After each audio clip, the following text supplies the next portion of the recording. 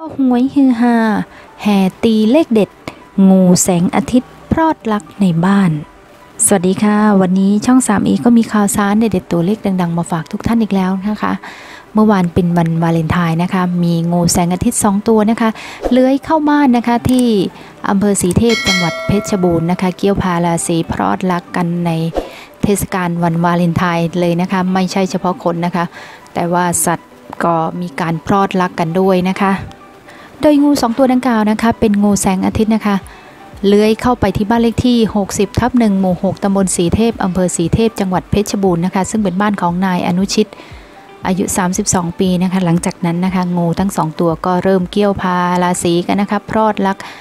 ในช่วงเทศกาลวันวาเลนไทน์นานประมาณ 5 นาทีนะคะ สร้างความฮือฮาให้กับผู้ที่พบเห็นนะคะ ขณะที่เจ้าของบ้านก็เชื่อว่าเป็นงูมาให้โชคนะคะ เพราะว่ามาพรอดรักกันในช่วงวาเลนไทน์นะคะ แต่ว่าก็มีเจ้าหมาสองตัวนะคะ เจ้าหมาของเจ้าของบ้านนะคะ ไปเห่าไล่งูนะคะ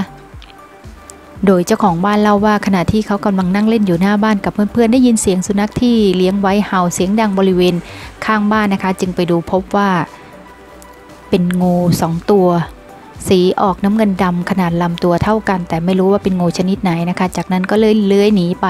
คาดว่าคงจะตกใจเสียงสุนัขนะคะจากนั้นอีกประมาณ 10 นาทีงูทั้งสองตัวก็เลื้อยกลับมาอีกครั้งนะคะ คราวนี้มีลักษณะเกี่ยวพันกันคล้ายกับกำลังพ่อรอดละกันนะคะ แล้วก็หยุดอยู่ตรงถังน้ำแข็งเกี้ยวพาราสีกันราวประมาณ 5 นาทีนะคะเขาก็เลยตามเจ้าหน้าที่กู้ภัยมาช่วยจับนะคะก่อน จับงูทั้งสองตัวไปปล่อยคืนสู่ธรรมชาตินะคะ ต่อมานะคะทราบว่างูทั้งสองตัวคืองูแสงอาทิตย์ไม่มีพิษนะคะ แต่ถึงไม่มีพิษถ้าเจอแบบนี้ก็เรียกเจ้าหน้าที่มาจับดีกว่านะคะ ซึ่งเจ้าของบ้านเชื่อว่านะคะ งูที่เลื้อยเข้าบ้านน่าจะมาเกี่ยวพาราสีกัน เห็นเป็นครั้งแรกก็เป็นเรื่องที่แปลกดังนั้น เกิดมาเพิ่งเคยเห็นงูเกี้ยวพาราสีกันแล้วก็พอดแล้วกัน จึงเชื่อว่างูทั้งสองตัวออกมาให้โชคแน่นอนนะคะ แน่นอนนะคะบรรดาคอหวยไม่พลาดที่จะส่องเลขทะเบียนบ้านนะคะ ย้ำอีกครั้งนะคะ เลขบ้านนะคะคือ 60ทับ1นะคะ601นะคะดูแล้วก็โปรดใช้วิจารณญาณในการรับชมนะคะ ก็ขอให้ท่านได้ขอให้ท่านโดนกันทุกคนนะคะ สวัสดีค่ะ